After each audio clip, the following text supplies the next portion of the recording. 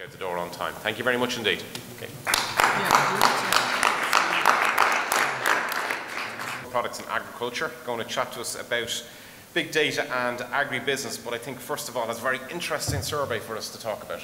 Yeah, thank you very much, everyone. It's a pleasure to be here at the Future in Food.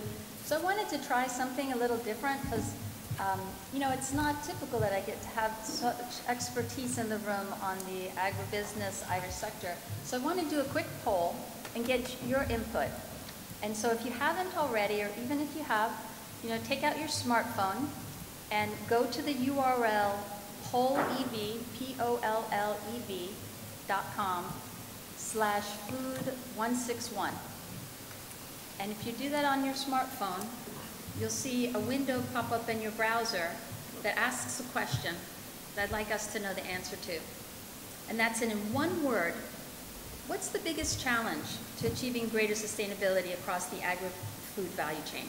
So any word you like, and if you're passionate, you can even answer more than once, and it'll pop up on the screen in a dynamic word cloud, and if more than one person answers the same thing, uh, the word gets bigger. So we can all see a little bit about what the challenges this esteemed group thinks are really there for us in greater sustainability.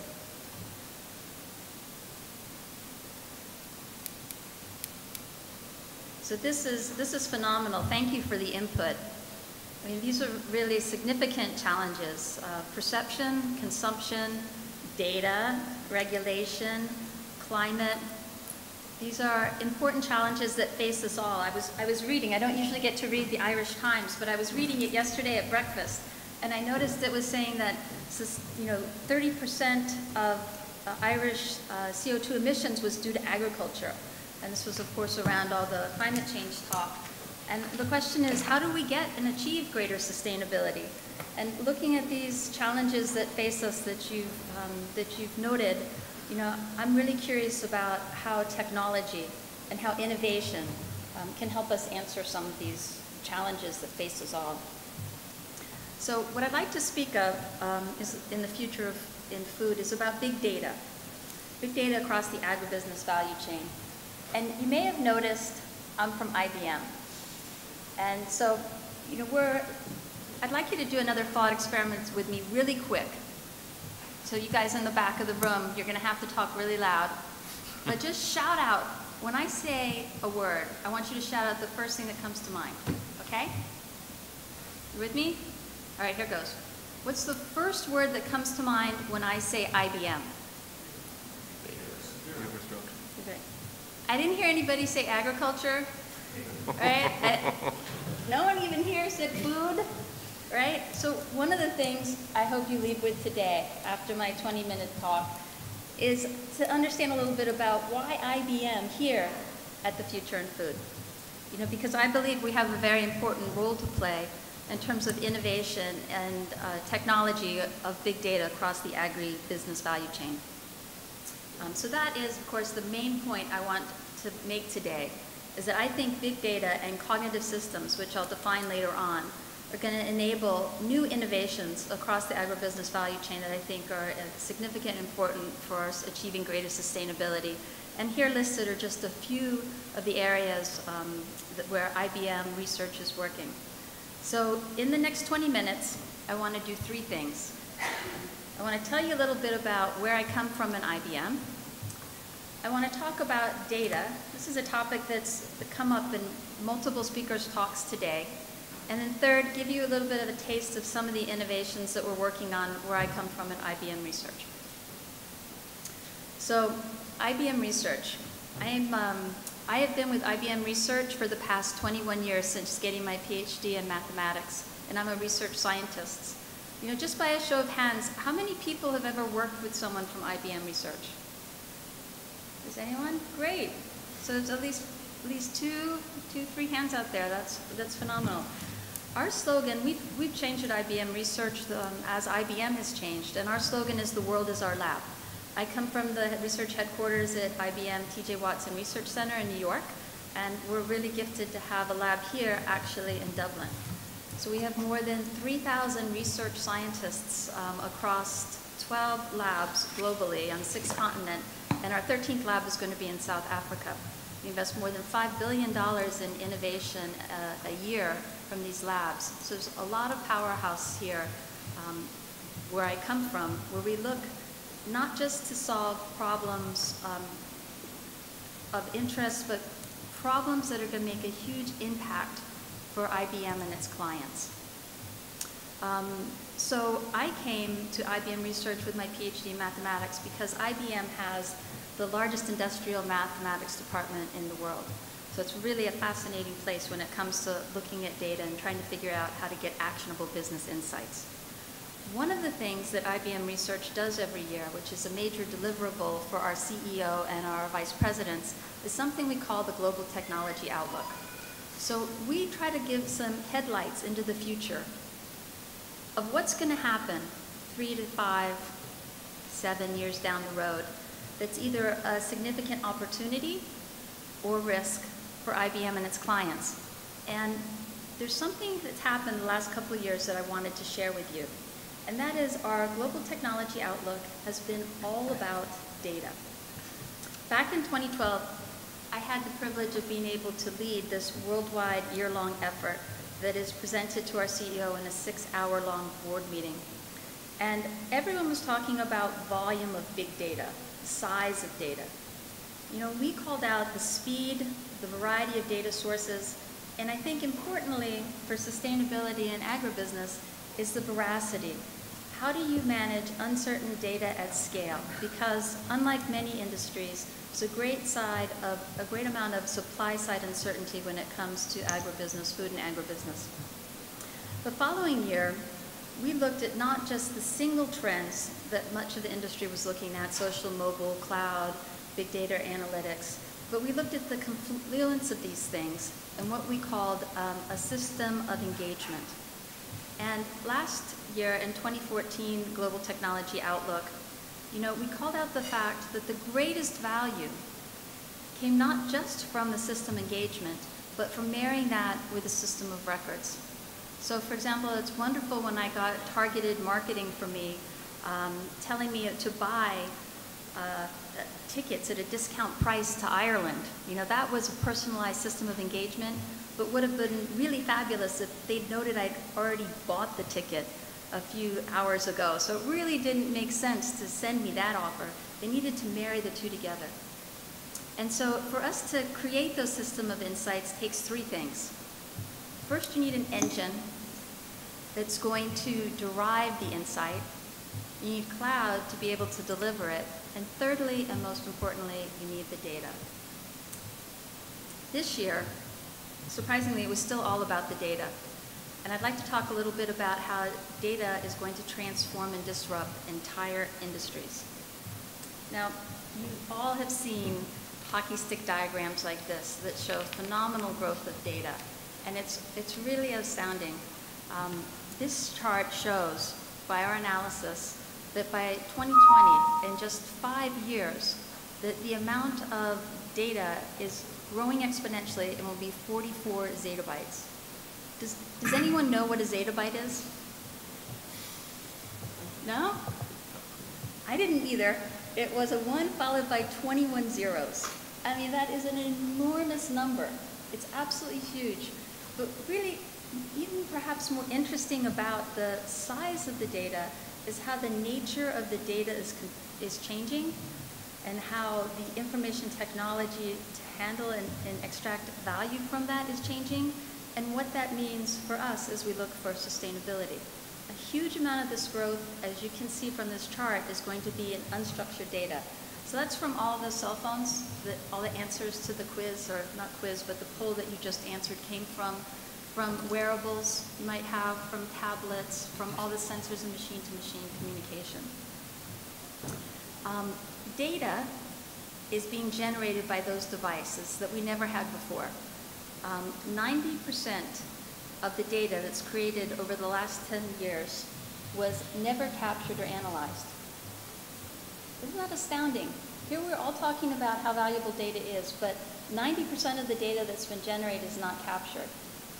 Know, part of the reason for that is the fact that the bandwidth to capture that hasn't kept up with the rate of growth of the data that's being generated. We simply can't ship it all back. But what I find even more astonishing is that by 2017, in just a couple of years, it's projected that the compute power of all our cell phones collectively around the world and the storage is going to surpass the capability of all the worldwide servers. You know, what are the implications for that as we look at the challenges for how to handle sustainability in food and agriculture sector where much of what's happening really is out in the field and, and requires mobile. We need to have data at the edge and compute at the edge. So here's an example of one industry where this new data and computing paradigm are transforming it that is another life science that I think is a nice analogy for agriculture and food. Um, healthcare. This uh, rapid exogenous growth of data is transforming healthcare. So when you go to a doctor and they have electronic medical records, that clinical data for a, a person, average person in the, um, in the industrial world is about four terabytes of data. But your genomic data from sequencing the human genome is about six terabytes. Now, thanks to the cost of gene sequencing coming down, and the speed of the algorithms, we're able to use that data more and more.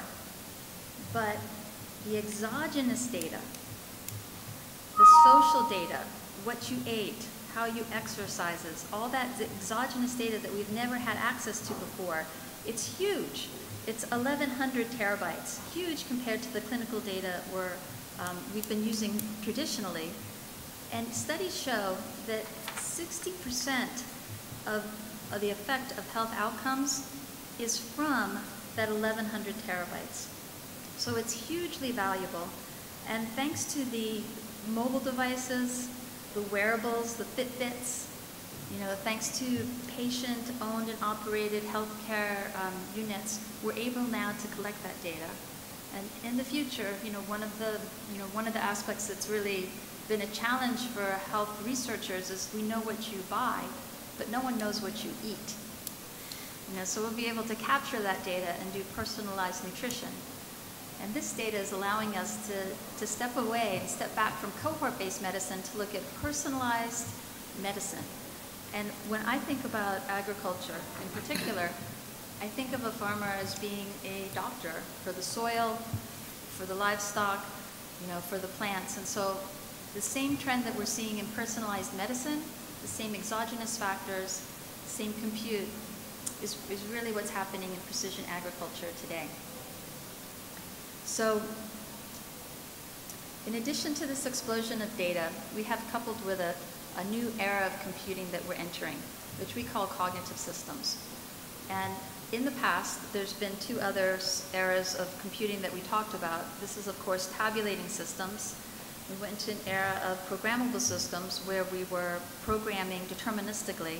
And this new system that we're seeing now is well positioned and needed for harnessing this vast amount of unstructured data. And it's different. It's different because it mimics how humans learn. It interacts with us in a natural way, like your Siri phone through natural language or other, other avenues. And it learns using a, a um, uh, probabilistic methods based on patterns.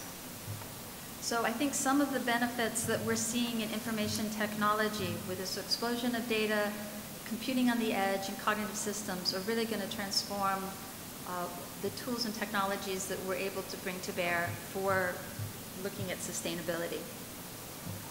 Now, you're all aware of these trends.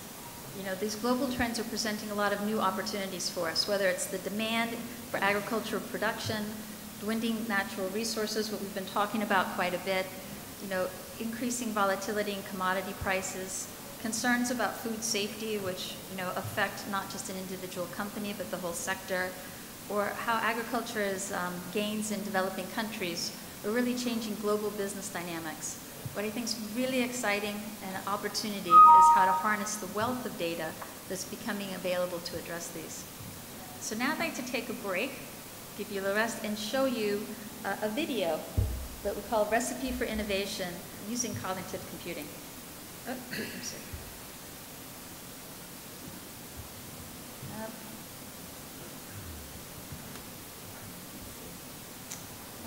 It's not working, I'm sorry. Search engines are great for helping.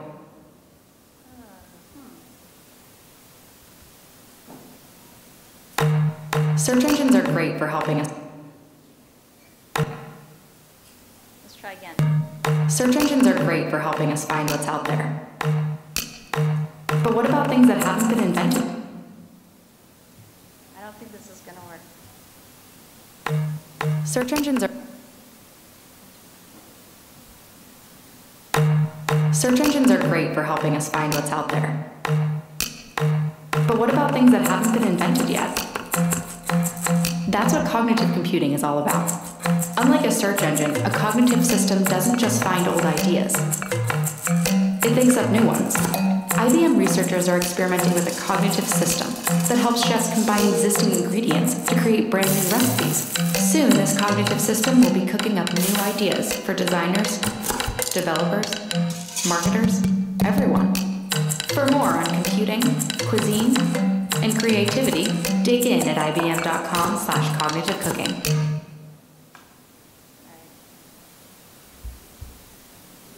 So, did anyone understand that video? Oh? Didn't work so good. I wanted to use some video to shake things up. And I know this is the last session of the day. You've just had your coffee, and we're into the home stretch here of really a wonderful day that's been filled with a lot of information. So um, I'm sorry that didn't work, but our cognitive materials are available online. Um, just to drive home the fact that we're expanding the state of the art in trying to teach computers about how to be creative. So we've developed a system in particular, one of them called Chef Watson. It's actually looking how to do novel combinations of flavors and it, fragrances based on the chemistry interactions uh, to help people come up with unintuitive but yet pleasing senses. Um, so I'd be happy to tell anyone more about that uh, after, after the talk. So now I've told you a little bit about IBM research.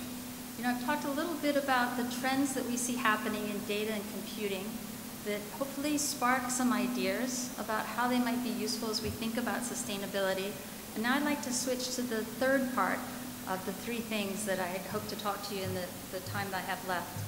And that's to just run through a few of the projects we have going on in IBM research to give you a sample of some of the work we're doing in food and agribusiness that, around sustainability. So one of the aspects of sustainability that we think about is around food safety. And in particular, the challenges of commingling and of the techniques that we're trying today that don't seem to quite work. So we're looking at how can you use food as its own sensor. So could the food material tell you when the, when the refrigeration hasn't worked or when it has been adulterated? So this novel approach is, um, is thanks to a consortium that's launched with Mars Corporation that we call Sequencing the Food Supply Chain. And the idea is that along with every food stuff, there's a lot of bacteria. And because the cost of gene sequencing in, is come down, that we can actually sequence and understand the outer envelope of the bacterial content in the food to know if something's happened to it. So our hypothesis is if there's a particular fingerprint for this metagenomic material from, say, Ireland, and you receive a shipment and you test it and you know what normal is, you'll be able to detect, did it really come from Ireland or was it sourced from another location? You'll know if it was adulterated. You'll know if perhaps no one noticed that the refrigeration truck broke down because the metagenomic material, the bacterial profile will be slightly different because the heat was different.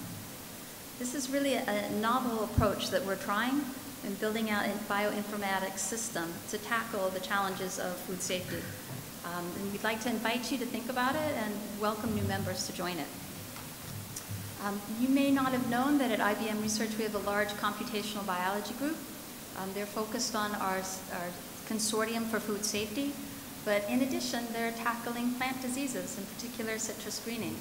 People looking at molecular models have developed approaches, and then our teams at the Almaden Research Lab, who've been developing special materials for semiconductors, have actually developed what we call ninja polymers to develop targeted approaches. So we're actually working on how to address citrus greening for a large beverage client. As many other uh, applications, um, our additional um, polymer scientists also work on controlled release polymers, which are important for sustainability. Um, and so, in lieu of time, let me talk you through just a few more projects before ending. Uh, the Nature Conservancy, working with us, looked at how we could improve the ecological system for a sandy soil area in Flint River, Georgia. Here we're using high precision, highly accurate weather forecasting that we've been working on for more than a decade called Deep Thunder um, to look at how we can improve and advance um, precision agriculture, in particular pivot head irrigation. Um, we are working with Rensselaer Polytechnic and a nonprofit, the Fund for Lake George. We have the most highly instrumented lake in the world, trying to determine why there's a dead spot in the center of the lake, which we believe is due to salt runoff. You know, we know that agrochemicals are often wasted, so how can you find out their impact? Uh, we've also worked with E.J. Gallo Wineries recently this year being awarded the Vintner um, Award, developing the first precision drip irrigation approach. We've actually created the prototype system at our lab in Yorktown Heights and uh, analyzed NDVI images to, to develop a precision water plan for the week. This is important, of course, in grapes, uh, where we've been testing the system for multiple years to be able to control both underperforming and overperforming areas to have maximum um, output at the highest quality.